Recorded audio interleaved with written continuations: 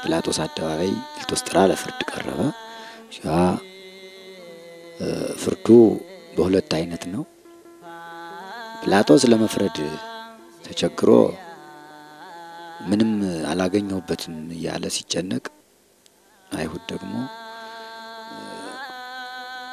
እንደ ሕጋችን ሊሞት ይገባዋል እያሉ ሲጮሁ ሲጠይቀው ጲላጦስ አትናገርም ሲለው ዝም ተናገር እንጂ አንተን እኮ ነው የሚከሱ እነዚህ ሁሉ እየጮሁ ነው።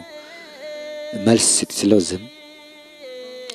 ሌሊት ከጨለማ ውስጥ ካደረው ታስሮ ካደረበት ትዕግስቱ ይልቅ ከጲላጦስ ፊት ማልዳ ቁሞ ያን ያህል ሲከሰስ አንድ ሰዓት እንኳን አይኔ በደለኛ አይደለሁም፣ ምንም ኃጢአት አልሰራሁም፣ እነዚህ የሚናገሩት ሐሰታቸው ነው ሳይል የተነገረውን ሁሉ የሚናገሩትን ሁሉ በትዕግስት በትዕግስት ሲቀበል አርፍዶ ከነጋ በኋላ ፍርዱ ሲያልቅ ጲላጦስ ውሃ አስመጥቶ እጁን ሲታጠብ እኔ ንጹሕ ነኝ ከዚህ ሰው ደም እያለ ሲታጠብ ምንም ሳይናገር መስቀሉን ከሊቶስጥራ ተሸክሞ ወደ ቀራንዮ ሲሄድ የሶስተኛው ምዕራፍ ለመጀመሪያ ጊዜ መስቀሉ እንደተሸከመ የወደቀበት ነው።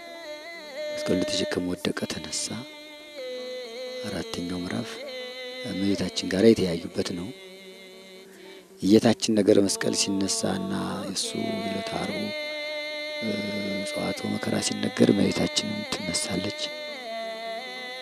በተለይ የእመቤታችን ሐዘኗና ልቅሷ እዚያ ምዕራፍ አራት ተቦታው ላይ ሲደረስ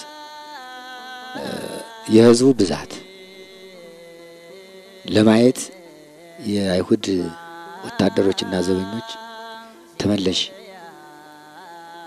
እያሉ ርኅራኄ እንዳይፈጸም እሷ ስታለቅስ አይተው ሌሎቹ ልባቸው ራርቶ እሱን እንዳይተውት እሷን መመለስ ነበር አማራጫቸው። የእሷ ልቅሶ የእሷ እንባ ሲወርድ ልጅና እናት ሊገናኙበት ያልቻሉባት ቀን ያቺ።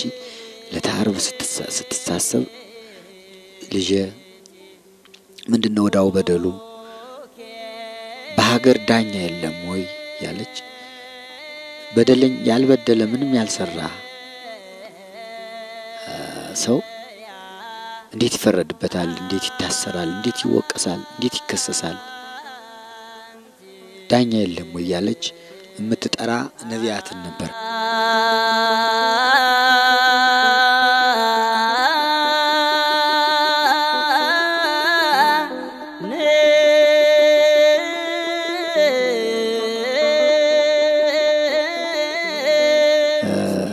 አምስተኛው የጲላጦስ ሚስት ቤት ነው።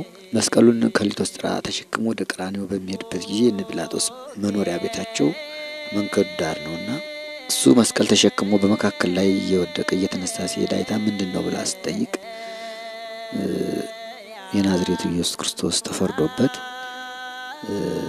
ሊሰቀል መስቀሉን ተሸክሞ እየሄደ ነው ሲነግሯት እሷ ብዙ በዚያች ሌሊትም እሷ በእሳት አለንጋ ስትገረፍ ጲላጦስ በአንገቱ ዘንዶ ሲጠመጠበት ራእይ አይታ ሶስቱ ልጆቿ ተናግረው የሚያውቁት ለዚያ ባልሽ ወዮለት ንጹሕ ደም ለሚያስፈስስ ብለው ነግረዋት ልካበት ነበርና ያንን አይታ አምስተኛው ምዕራፍ ደጃፏ ላይ ደጇ ላይ መስቀሉን እንደተሸከመ ሲወድቅ ዳ የሚያነሳው በሌለበት ጊዜ አንስታ ቅፍ አድርጋ ደሙ እየፈሰሰ ወዙ እየፈሰሰ ቤቷ ከሳጥን ያስቀመጠችውን አዲስ ልብስ ወስዳ ላቡን ወይም ወዙን በልብሷ ጥርግ አድርጋ ደሙና ወዙ እየፈሰሰ ከልብሷ ላይ እንዳለ ተቀርጾ ስዕል ሆኖ የመጀመሪያው የሐዲስ ስዕል ለእሷ ነው የተቀረጸላት። ለጲላጦስ ባለቤት አብሮቅላ ትባላለች።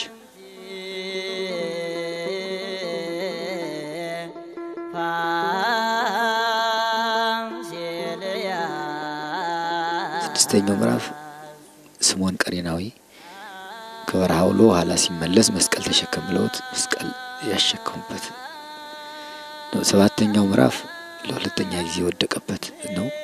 ሲታይ በጣም ያስገርማል።